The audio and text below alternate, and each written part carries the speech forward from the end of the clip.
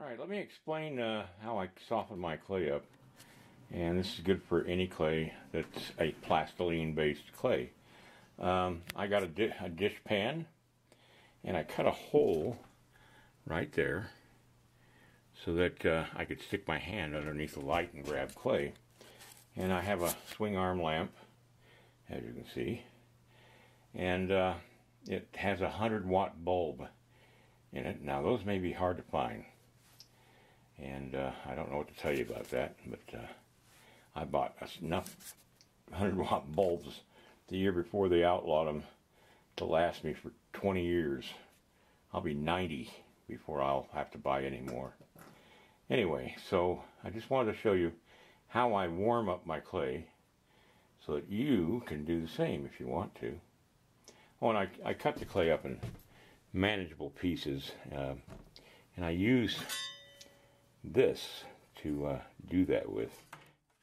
Okay, I'm uh, giving you another sneak peek of uh, the video that I'm putting together to replace a DVD that I already have uh, in existence on how to create a small male bust. Um, I'm going to be making a Norseman or a Viking type character. I'm not certain yet exactly if that's what it's going to be, but it's certainly going to be something from, uh, no, I'd say the Middle Ages, uh, you know, around the uh, 1100s or around that period of time.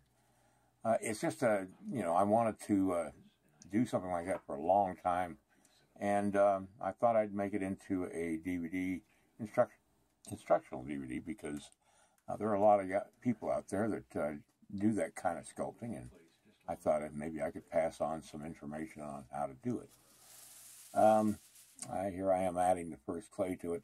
I made a uh, aluminum foil uh, filler just because it takes up the space that uh, clay uh, would have to take up, and clay is very expensive, so I decided to show you how to save money. And uh, here I am just uh, lightly packing the clay with a metal tool, flat metal tool, to shape the clay. Anyway, um, if you want to look at uh, some of my other uh, uh, DVDs available, uh, just look in the description below this video and uh, follow the instructions and you can uh, take a look at a review of each one and then how to purchase them. All right, that's it for today. When I do a monumental piece, I do the same thing except I use an old the side of an old uh, butcher knife. Works beautiful.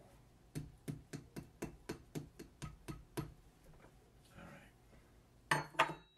Alright. Next time we start uh, laying in the detail of the, uh, the head and uh, the skull and getting ready to put the uh, muscle and features